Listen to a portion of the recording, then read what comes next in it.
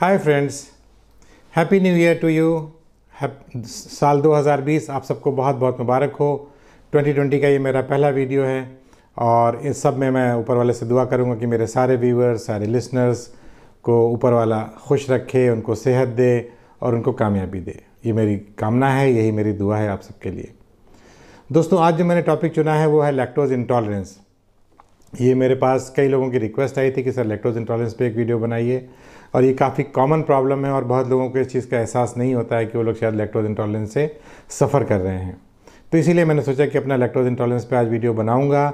अगर अभी तक आप लोगों ने मेरे चैनल को सब्सक्राइब नहीं किया है तो प्लीज़ सब्सक्राइब का बटन दबाइए।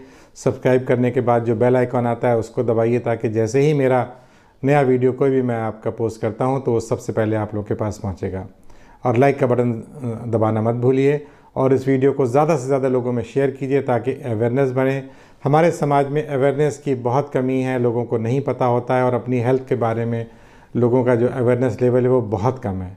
हम लोग तमाम वीडियोस इधर उधर टिकटॉक के और इधर उधर तमाम फालतू वीडियोस लोगों को व्हाट्सएप पे और यूट्यूब पे शेयर करते रहते हैं। बट एजुकेशनल वीडियोस शेयर करने में हम लोगों को थोड़ी प्रॉब्लम होती तो मैं समझता हूँ कि एजुकेशनल वीडियोस ज़रूर शेयर कीजिए। इससे आपको भी कहीं ना कहीं फ़ायदा होगा, इसको जिसको सदका जारिया बोलते हैं कि आपने किसी दूसरे का भला किया अगर इसको जानकर उसका कुछ फ़ायदा हुआ।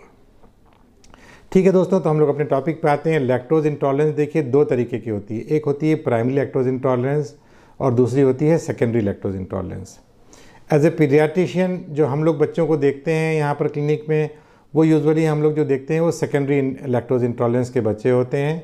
जैसे नॉर्मली बच्चों में, पहले तो मैं बता दूँ कि लैक्टोज इंटॉलरेंस होती क्या है। देखिए, हमारे मिल्क प्रोडक्ट जो भी हम लोग खाते हैं, जो मिल्क होता है, उसमें एक शुगर होती है जिसको लैक्टोज बोलते हैं।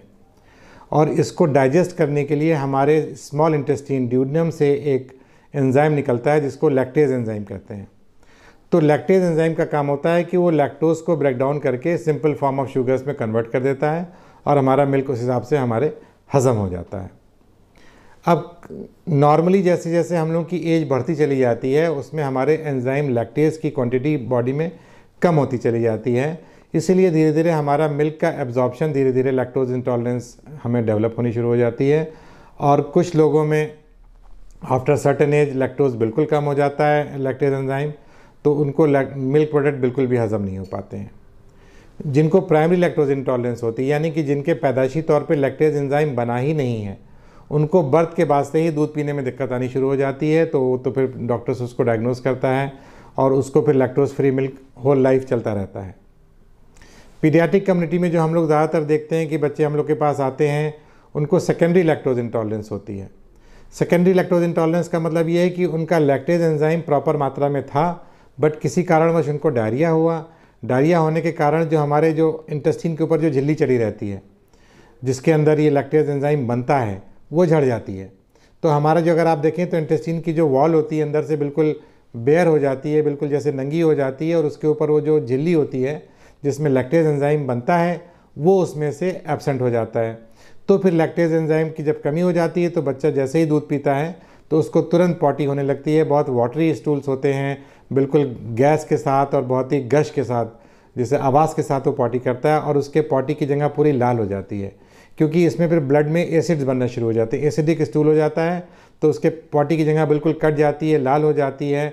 तो छोटे बच्चों में, एक साल से दो साल के बच्चों में जो लैक्टोज इंटॉलरेंस होती है, वो यूजुअली डायरिया को फॉलो करती है और वो सेकेंडरी लैक्टोज इंटॉलरेंस होती है। बट एडल्ट्स में और बड़े बच्चों में जो होता है, वो प्राइमरी लैक्टोज इंटॉलरेंस होती है। वो धीरे धीरे लैक्टोज एंजाइम्स की कमी की वजह से होने लगती है। तो जो सेकेंडरी लैक्टोज इंटॉलरेंस जो हम लोग बच्चों में देखते हैं, उसका ट्रीटमेंट मैं अलग में बताऊँगा और जो बड़ों का जो लैक्टोज इंटॉलरेंस है, उसके बारे में मैं आपको बाद में बताऊँगा। क्योंकि मैं पीडियाटिशियन हूँ और हम लोग रेगुलरली जो लैक्टोज इंटॉलरेंस के बच्चे देखते रहते हैं तो देखिए इसमें जो सबसे कॉमन लक्षण होगा कि आपके बच्चे को किसी कारणवश मान लिया डायरिया हुआ है। तो शुरुआत में तो आपको डायरिया लगेगा कि पॉटी पतली पतली हो रही है और येलो कलर की हो रही है और बच्चा आपका ठीक ठाक चल रहा है, दूध भी पी रहा है और उसको इतनी पेट में दर्द वगैरह नहीं हो रहा है। बट दो तीन दिन बाद अगर आप देखेंगे कि अब उसकी पॉटी बिल्कुल पानी जैसी होने लगी है और वो गश से आ रही मतलब बिल्कुल आवाज़ के साथ पॉटी कर रहा है और उसके पॉटी की जगह पे बिल्कुल लाली आ गई है कटने लगा है। तो ये साइन है आपके लैक्टोज इंटॉलरेंस का कि बच्चे को अब आपके सेकेंडरी लैक्टोज इंटॉलरेंस हो रही है। यहाँ पर आपको दूध को चेंज करने की ज़रूरत होती है। अगर ब्रेस्ट मिल्क बच्चा पी रहा होता है तो यूजुअली हम लोग ब्रेस्ट मिल्क को नहीं रोकते हैं बट अगर बच्चा फार्मूला पे है तो हम लोग कोशिश करते हैं कि बच्चे का फार्मूला बदल के उसको लैक्टोज फ्री मिल्क दे दिया जाए, जिसमें सोया के सोया बेस्ड फार्मूला आते हैं, कुछ और भी नॉन सोया बेस्ड फार्मूला होते हैं जो कि लैक्टोज फ्री हैं, वो हम लोग उन बच्चों को देते हैं। हफ़्ता दस दिन उन बच्चों को ये दिया जाता है तो उनका एसिडिक स्टूल कम हो जाता है और उसके बाद फिर वो नॉर्मल अपने जो प्रॉपर जो फार्मूला या जो भी मिल्क पहले ले रहे थे, उसके ऊपर वो आ जाते हैं और उनका पेट ठीक चलता रहता है। तो ये तो सेकेंडरी लैक्टोज इंटॉलरेंस की बात हो गई है। इसको हम लोग डायग्नोज यूजुअली स्टूल के टेस्ट से करते हैं स्टूल के टेस्ट का जो पानी वाला हिस्सा होता है, उसको हम लोग लैब में भिजवा देते हैं और उसके में हम लोग रिड्यूसिंग सब्सटेंसेस टेस्ट करते हैं। तो अगर रिड्यूसिंग सब्सटेंसेस पॉजिटिव आ रहे हैं तो इट्स ए साइन कि बच्चे को लैक्टोज सेकेंडरी लैक्टोज इंटॉलरेंस हो रहा है। और ऐसे में अगर आप जो नॉर्मल मिल्क है, जो जिसमें लैक्टोज है, अगर आप वही मिल्क कंटिन्यू करेंगे तो बच्चे का पेट डायरिया कंट्रोल नहीं होता और उसकी प्रॉब्लम और बढ़ती चली जाती है। तो ऐसे में मिल्क को चेंज करना बहुत ज़रूरी है। हफ़्ते दो हफ़्ते जब आप चेंज करेंगे, आपका बच्चा उसमें ठीक हो जाता है। और जो पॉटी कैरिया लाल हो जाता है, उसके ऊपर आप कुछ डायपर की जो क्रीम्स आती हैं नेपी रैश की जो क्रीम आती हैं, आप वो लगा सकते हैं। दूसरा जो टेस्ट होता है कि हाइड्रोजन ब्रेड टेस्ट करते हैं, वो यूजली हालाँकि प्रैक्टिकली हम लोग नहीं करते हैं बट दूसरा एक और टेस्ट करने का तरीका है कि आप ब्रेथ में हाइड्रोजन क्योंकि एसिड्स बनने बॉडी में शुरू हो जाते हैं और हाइड्रोजन आयन जो है, वो हमारे सांस में से फिर बाहर निकलता रहता है। तो ब्रेथ में हाइड्रोजन का जो टेस्ट होता है, वो भी एक कन्फर्मेटरी टेस्ट होता है कि पेशेंट्स को लैक्टोज इंटॉलरेंस हो रही है।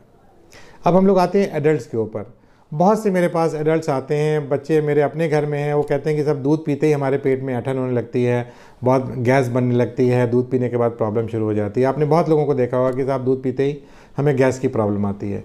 तो ये मान के चलिए, अगर आपको दूध पीने के बाद गैस बन रही है, आपके पेट में दर्द हो रहा है, आपको डायरिया हो सकता है कॉन्स्टिपेशन हो सकता है, तमाम तरह के आपके जो पेट की जो तकलीफ़ें हैं, वो आपके लैक्टोज इंटॉलरेंस की वजह से हो सकती हैं।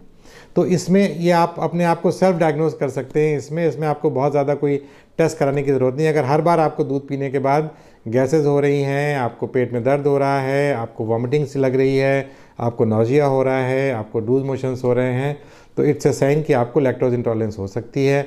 ऐसे में आप जाके अपने डॉक्टर से डिस्कस कीजिए, वो आपको लैक्टोज वाले प्रोडक्ट्स अवॉइड करने को बोलेगा। नॉर्मली मिल्क में लैक्टोज होता है योगर्ट और चीज़ वगैरह में भी लैक्टोज होते हैं बट दही में योगर्ट की लैक्टोज की मात्रा बहुत कम होती है, इसलिए हम लोग दही अवॉइड कर सकते हैं, दही आप दे सकते हैं बट मिल्क तो आपको अवॉइड ही करना पड़ेगा। लैक्टोज इंटॉलरेंस का सबसे जो सिंपल तरीका है कि आप मिल्क अवॉइड कीजिए। आप मिल्क से रिलेटेड प्रोडक्ट ले सकते हैं। आप दही कम मात्रा में खाइए।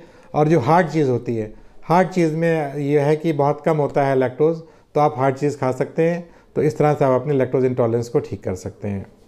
दोस्तों, एक कंडीशन होती है इरिटेबल बावल सिंड्रोम जो कि आप लैक्टोज इंटॉलरेंस से कंफ्यूज कर सकते हैं।